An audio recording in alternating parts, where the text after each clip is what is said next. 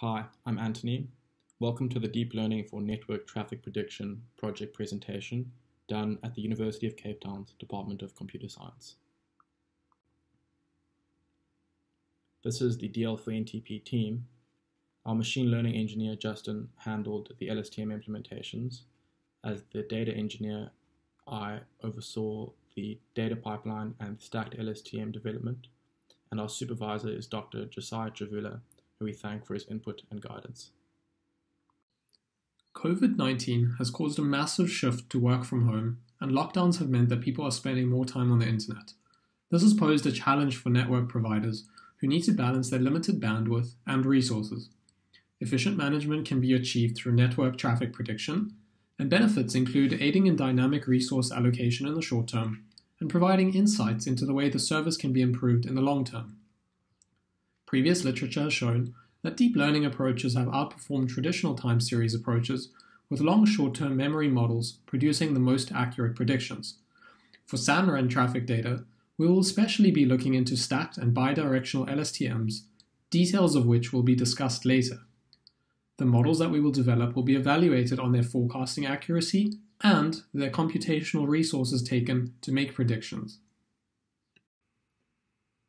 Computational resources and limited data sets are big limitations for less resource network providers. A variety of LSTM models need to be tested, as some systems have different priorities. Hence, a trade off between accuracy and computational complexity will arise. Our research questions include the following. Firstly, how does the SANREN traffic data vary with time and day in relation to the South African University calendar? Which of the LSTM architectures, baseline, bilateral, or stacked provides the highest prediction accuracy, subject to network constraints? What is the computational cost of different LSTM architectures given a required level of accuracy? And lastly, how does changing the size of the dataset impact on the accuracy of the predictions? So this system was designed in Python using the Keras API and TensorFlow. It also includes a data processing pipeline and a preliminary data analysis, which was done using a variety of mathematical and machine learning packages. Essentially, given inputs from the data pipeline, each LSTM model is able to predict network traffic data to a varying degree of accuracy using a varying degree of computational resources. We wanted to reduce the complexity of the implementation, and so we used pre-existing LSTM model libraries and we focused on the hyperparameter tuning process to improve prediction accuracy. The SANREN sample we used had 47,000 data points taken from a week period. This is in comparison to 9 million data points per day from the entire SANREN observation population. And this SANREN data was extracted and cleaned for a neural network's input based on the TensorFlow requirements. And the pre-processing step included feature extraction and transformation, such as one-hot encoding of categorical variables and the removal of strings, but it also included the engineering of new variables, such as day and holiday, to answer one of our research questions, which checked the relationship between the university calendar and the flow of bytes on SANREN. And consequently, the response variable for this study is bytes, with all the other variables being explanatory. And after pre-processing the data, the data frame was condensed from 14 features to 9 features. After pre-processing, I performed a preliminary statistical analysis to garner relationships and information from the dataset before providing them to the models. If you notice that there is a 3 by 3 grid of strong correlative relationships on the right, the negative relationship between bytes and date time shows that byte volume per flow is decreasing as time increases, or as we move forward into the future. And the strong positive relationship between duration and the response bytes shows that longer flows generally have more data being transferred, which is a sensible assumption. On the left, you'll see the distribution of the response bytes. And as you can see, it's extremely right skewed the outlying values were considered for removal, but we wanted the LSTM models to be able to predict the burst flows in the SANREN traffic. And the result of leaving these outliers in was that it underpredicted the modal values, the more common values, and underpredicted the outlying burst flows. And then on the right, you can see the bytes versus day of week plot. This is only done over a week, so it'd be hard to infer any relationships between traffic and day of the week. But in this small sample, there is no difference between any days of the week, as well as between weekdays and weekends. Just a quick recap of the difference between a recurrent neural network and long short-term memory neural networks.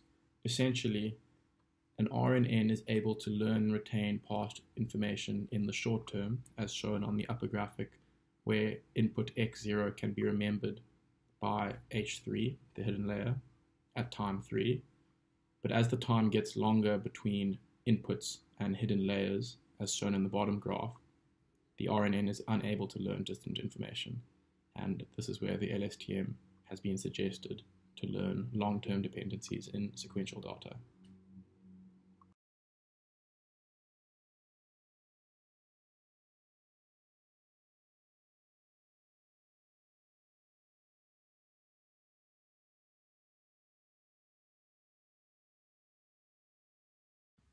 Hi again.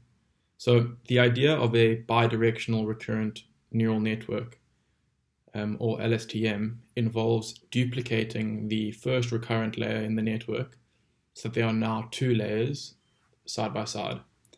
Then providing the input sequence as is to the first layer and providing a reversed copy of the input sequence to the second. The architecture of a bidirectional LSTM can be seen on the right of the slide above me. Um, one hidden layer of LSTM receives the sequence of input in reverse, while the other does not. The outputs are then merged, usually using concatenation. The stacked LSTM adds multiple LSTM layers to a traditional LSTM, and this is implemented by feeding a sequence to the next LSTM layer, which requires the previous layer output to be slightly adjusted from a single scalar to a vector value.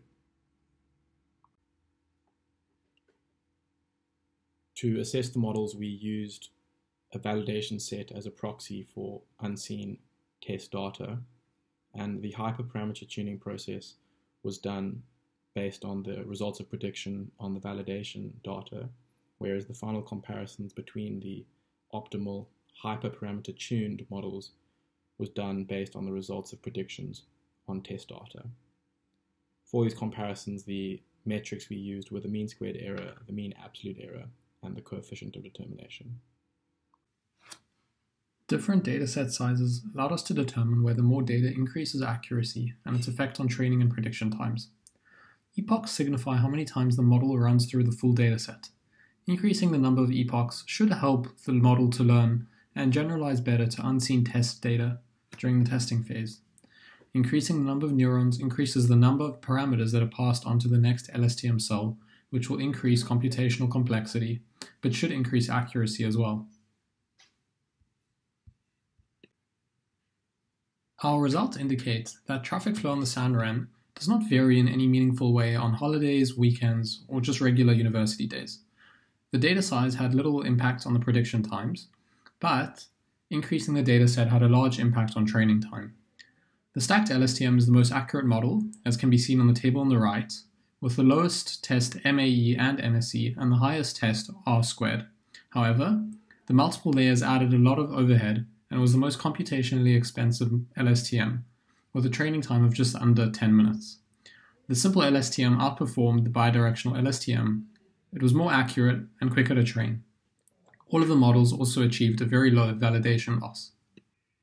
So, in conclusion, we were able to predict future traffic flows on the SANREN, and we were able to answer our research questions. So therefore, we can recommend the stacked LSTM when there's no consideration of computational resources, and accuracy is the most important aspect, with no regard for training time. The, L- the simple LSTM is more suitable when there are resources that are constrained. So this could be for a less resource network that may not have the resources available to train a stacked LSTM, Yet, the simple LSTM would be recommended since it is two times less expensive than the stacked LSTM to train, and it outperforms the bidirectional LSTM. It's more accurate than the than that LSTM. And lastly, we found that traffic does not vary much.